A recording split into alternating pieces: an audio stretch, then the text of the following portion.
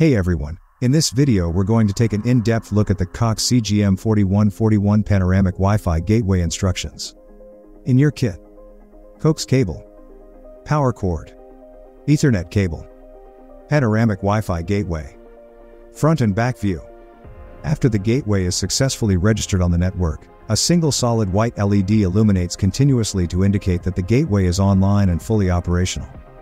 WPS located on the top of the modem. This button can be used instead of entering the Wi-Fi password to connect wireless devices that support WPS to the Technicolor CGM4141. WPS works only for wireless networks that use passwords encrypted with the WPA personal or WPA2 security protocols. What you'll need smartphone, tablet, or computer. Plug in the gateway. Connect the coax cable to the gateway and an active cable outlet. Then connect the power cord to the gateway and an electrical outlet. Make sure the electrical outlet isn't connected to a dimmer. Tip, plug the coax cable into a centrally located cable outlet or use the same outlet where the old device was connected. Connect to the network. Wait about 10 minutes for the gateway to power on. Then open the Wi-Fi settings on your smartphone, tablet, or computer. Connect to the network using the network name SSID and the password from the label on the bottom of the gateway. Once it's connected to the network, open a browser and surf the web to verify that your internet is good to go. Personalize Wi-Fi experience. We recommend you download the Cox Panoramic Wi-Fi app. The app will help you personalize your network and optimize your Wi-Fi experience. Tips.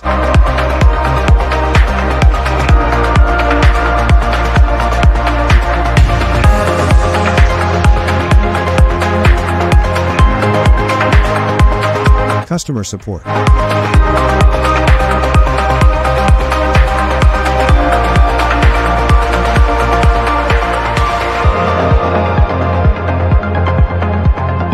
Troubleshootings.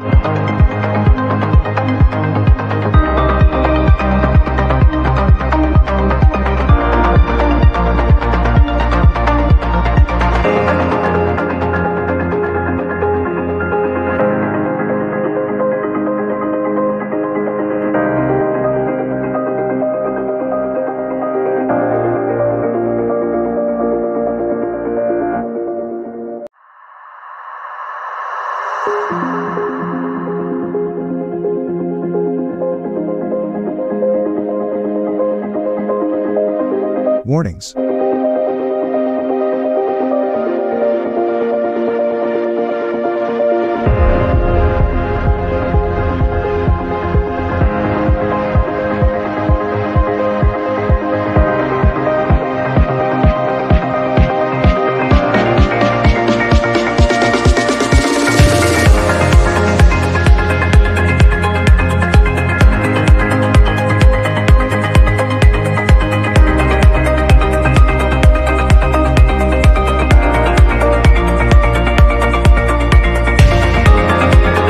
For more updates subscribe to our channel.